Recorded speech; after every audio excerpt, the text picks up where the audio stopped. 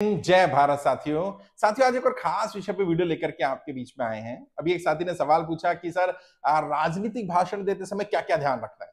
वैसे तो मैं इस पर ऑलरेडी बहुत सारी वीडियो बना चुका था, लेकिन मुझे लगा, नहीं रिवाइज होता रहना चाहिए, नई चीज़ें आनी चाहिए, नया कंटेंट आना चाहिए, लोगों को नई बातें मिलती रहनी चाहिए। चार पाँच बातें बताता हूँ। सबसे पहली चीज़ तो राजनीतिक भाषण उबाऊ नहीं होना चाहिए साहब। हाँ अगर आपको लगे आपकी ऑडियंस आपकी जनता उब रही है, आप उनको बोर कर रहे हैं तो इससे पहले के वो बोर होने लग जाए, आप मंच त्याग दीजिए। अगर राजनीतिक भाषण में जनता एक बार आपसे डिस्कनेक्ट फील कर ले, एक बार बोर होनी शुरू हो जाए, एक बार जनता को लगने लगे कि आप उन्हें बोर कर रहे हैं, आप वो कनेक्ट नहीं पैदा कर पा रहे हैं, बेहतर होगा अपनी स्पीच को वहीं कट शॉर्ट कर दें और अपनी स्पीच पर मेहनत करें, उसको तैयार करने पर मेहनत करें, जब तक कि जनता के साथ फिर से कनेक्शन पैदा ना हो जाए। और वो वो एक आर्ट है। जनता के साथ कनेक्शन पैदा हर किसी को नहीं करना आता है, हर कोई कर नहीं पाता। बहुत बढ़िया बढ़िया बोलने वाले भी अच्छे पॉलिटिकल वक्ता नहीं बन पाते, क्यों? क्योंकि वो कनेक्शन पैदा नहीं कर पाते। उसको सीखिए। पहले तो देखिए कि अगर आप बोर करते हैं और कितनी देर में ऑडियंस बोर होनी शुरू होती है। याद रखिए, कोई भी व्यक्ति, कितना ही बढ़िया वक्ता क्यों ना हो, एक लिमिट के बाद उसकी ऑडियंस उससे बोर होने लगती है। और आपको एक अच्छे वक्ता की निशानी यह है, उसे पता होना चाहिए, मेरी ऑडियंस कब मुझसे बोर हो रही है, या कितनी देर के बाद वो लगता है कि अब डिस्कनेक्ट फील कर रही है। उससे कम मेरी स्पीच होनी चाहिए, चाहे फ्रीक्वेंसी बार बार हो जाए, लेकिन ड्यूरेशन हर बार की उतनी ही होगी कि इससे पहले कि ऑडियंस बोर होने लग जाए, आप मन से उतर चुके हैं। पहली चीज़ का ध्यान रखना है। दूसरी चीज़, बाकी भाषणों में और राजनीतिक भाषणों में कहना तो नहीं चाहिए, वैसे कई लोगों को अजीब भी लगेगा बट सच्चाई है। राजनीति भाषणों में नॉलेज की ज़्यादा ज़रूरत नहीं होती इन्फॉर्मेशन की ज़्यादा ज़रूरत होती है। प्रॉब्लम क्या आती है? लेक्चर नहीं है ये। लोग लेक्चर की तरह राजनीतिक भाषण देते हैं और फिर ऑडियंस जल्दी डिस्कनेक्ट फील कर लेती है बोर हो जाती है। उन्हें नॉलेज चाहिए, ठीक है, वो एक अलग पार्ट है, लेकिन नॉलेज इस तरह से डिलीवर होनी चाहिए कि वो इन्फॉर्मेशन का माध्यम हो। जैसे सोशल मीडिया पर लोग इतना समय क्यों बिताते हैं? वहाँ नॉलेज कम है इंफॉर्मेशन ज़्यादा है। और जो नॉलेजेबल वीडियो है, हमारी वीडियो देखेगा उनके व्यूज़ नहीं मिलेंगे, और जो वीडियो इंटरटेनमेंट के, उनमें मिलियंस में व्यूज़ मिलेंगे। कारण क्या अच्छी चीज़ के कदरदान कमी होते हैं साहब अच्छी चीज़ हर किसी को पसंद आ जाए वलगैरिटी डालिए अभी, गालियाँ डालिए, देखिए, तुरंत वायरल होगा। लेकिन बढ़िया चीज़, ज्ञानवर्धक चीज़, जो उनके काम किया जाए, उसका तो चॉइस अलग हुई ना। इंटेलेक्चुअल हर कोई नहीं हो सकता। हर कोई आपकी तरह या उन लोगों की तरह जो ऑडियंस यहाँ आती है, वैसा नहीं होगा। और उनकी चॉइस अलग है। वो नॉलेज के लिए आते हैं, वो डिटेल में बात करना चाहते हैं डिटेल में जानना चाहते हैं, वो अपने डाउट्स क्लियर करना चाहते हैं, और हमें भी मालूम है। तो यहाँ क्वांटिटी मैटर नहीं कर रही है क्वालिटी मैटर कर रही है। लेकिन पॉलिटिकल स्पीचेस में जब आप पब्लिक रैली में हैं, वहाँ पर आई एम सॉरी टू से ज़्यादा नॉलेज की ज़रूरत नहीं है। नॉलेज कम दीजिए इंफॉर्मेशन ज़्यादा दीजिए और जितनी ज़्यादा इंफॉर्मेशन जितना बढ़िया तरीके से देंगे, उसको इस तरह से पैकेजिंग करेंगे, लगे कि नॉलेज दी जा रही है तो ऑडियंस और ज़्यादा कनेक्ट हो जाएगी, लेकिन वो ड्यूरेशन का ध्यान ज़रूर रखिएगा। दूसरी, तीसरी चीज़ जिसका ध्यान रखना है, शुरुआत में खासकर से आप कोशिश करें पोडियम का इस्तेमाल करें या अपनी बॉडी लैंग्वेज को इतना रखें कि ऑडियंस को नेगेटिव बॉडी लैंग्वेज ना दिखे। नेगेटिव गेस्टर जो होते हैं। वैसे तो जब आप ट्रेनिंग में आएँगे तो सिखाएँगे लेग की मूवमेंट कैसी होनी चाहिए? अगर पोडियम नहीं है स्टेज खुला है तो। अगर पोडियम है तो आपकी हैंड मूवमेंट क्या होनी चाहिए? आपकी लेग्स कहाँ पर होनी चाहिए? कितना डिस्टेंस पर खड़ा होना है? माइक से किस तरह से संवाद करना है? अगर हैंड माइक है तो कैसे काम करना है? बट आपको पॉजिटिव पॉजिटिव बॉडी लैंग्वेज पर ध्यान देना होगा। आपकी बॉडी लैंग्वेज नेगेटिव नहीं जानी चाहिए। क्योंकि अगर जनता को लगने लगा कि आप डर रहे हैं, भले आप डर रहे हो, थोड़ा बहुत डर, थोड़ा बहुत स्टेज फियर होता है, इसमें कोई बुराई नहीं है। पता नहीं चलना चाहिए।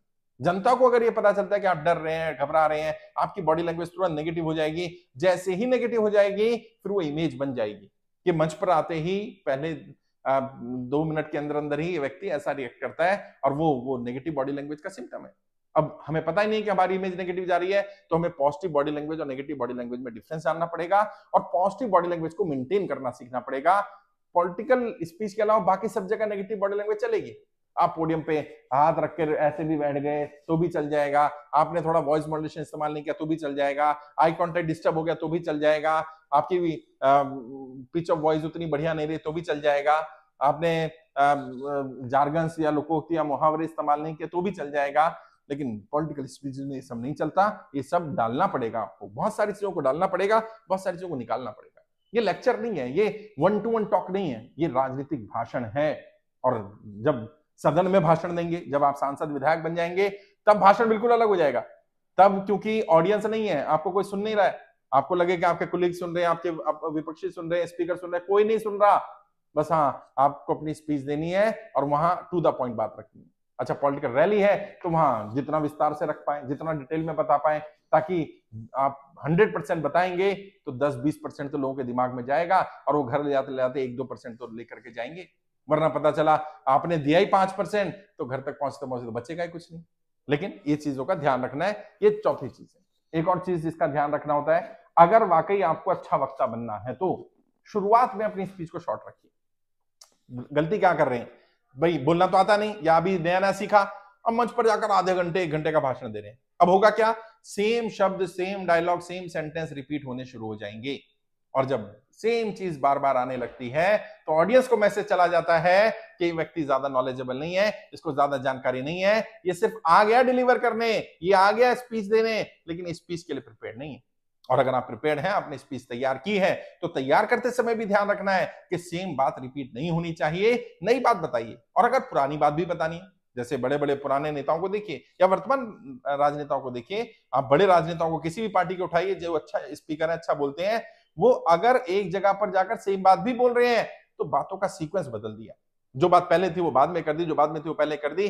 बीच में कुछ ऐसी चीज़ें एड ऑन कर दी जो वहाँ नहीं थी। वहाँ अगली जगह कुछ और एड ऑन कर दी जो वहाँ नहीं थी। और आहिस्ता आहिस्ता आहिस्ता चारों जगह की स्पीच जब आप उठाएँगे, बात एक कही गई होगी, तरीका अलग कर दिया गया होगा, चीज़ों को आगे पीछे कर दिया गया होगा, लोगों को लगेगा चारों जगह नई बात बताई गई और यही यही अच्छे लीडर की, अच्छे पॉलिटिकल स्पीकर की मतलब उसकी क्वालिटी है, उसके गुण है, उसकी पहचान ही है।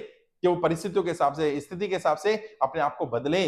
और अगर आप बदलने के लिए तैयार नहीं है बदलाव नहीं कर पा रहे हैं तो पहले सीखिए कैसे बदलना है। To the point on the spot कई बार टॉपिक चेंज हो जाता है कई बार आ, कोई खास खबर आ जाती है कई बार कोई मुद्दा बदल जाता है कई बार कोई पदाधिकारी जिसके लिए आप बात कर रहे होते हैं वो पदाधिकारी वहाँ नहीं होता है। कई बार कुछ और हो जाता है कोई अचानक खबर आ जाती है अचानक कुछ एड ऑन करना पड़ जाता है। लेकिन लोगों को लगना नहीं चाहिए कि आप प्रिपेयर करके आए, लेकिन आप मेंटली प्रिपेयर होने चाहिए कि एक्सटेम्पोर कुछ हो जाएगा। तो उस एक्सटेम्पोर में किस तरह से अपनी बात रखेंगे इफ़ेक्टिव तरीके से किस तरह से अपनी बात रखेंगे। फिर भी जब भी आपको लगे आपको अच्छा वक्ता बनना है, आपको सीखना है, या बाकी गुणों के बारे में जानना है, राजनीति के बारे में जानना है, राजनीति की बारीकियों के बारे में जानना है, अपने बारे में जानना है आपकी स्ट्रेंथ क्या, आपकी वीकनेसेस क्या, आप किस काम के लिए बने, आपका उद्देश्य क्या होना चाहिए, आपका लक्ष्य क्या होना चाहिए कौन सा काम ऐसा जो आप सबसे बेहतर कर सकते हैं, आपका टारगेट क्या होना चाहिए, किस गोल को आप पहले अचीव करें, आपका अल्टीमेट गोल क्या होना चाहिए, जब भी आपको लगे डाउट है, आइएगा, बात करिएगा, मैं कोशिश करूँगा आपका एक रोड मैप बनाऊँ, आपको गाइड कर पाऊँ और आपको आपकी क्षमता के हिसाब से वो पद, वो प्रतिष्ठा, वो नाम दिला पाऊँ जिसके आप हकदार हैं, जो आप डिजर्व करते हैं। और अगर डिजर्व नहीं भी करते होंगे तो पहले लायक बनाया जाएगा कि आप डिजर्विंग कैंडिडेट बन जाए। फ़र्स्ट डिजर्व देन डिज़ायर फिर हम डिज़ायर भी करेंगे और फिर हम उसको अचीव भी करेंगे। फिर भी कोई डाउट है, कोई और सवाल है तो कुछ और पूछना चाहें, किसी और टॉपिक वीडियो चाहिए हो तो कमेंट बॉक्स में लिख सकते हैं। आप मुझसे बात करना चाहें तो वीडियो के डिस्क्रिप्शन जाइए, मेरे फ़ोन नंबर मिल जाएँगे, दो चार पाँच मिनट बात करें डायरेक्ट बात करिए, मैं कोशिश करूँगा आपको गाइड कर आज के लिए इतना ही, आपके उज्जवल राजनीति भविष्य के लिए हार्दिक शुभकामनाएँ। जय हिंद, जय भारत।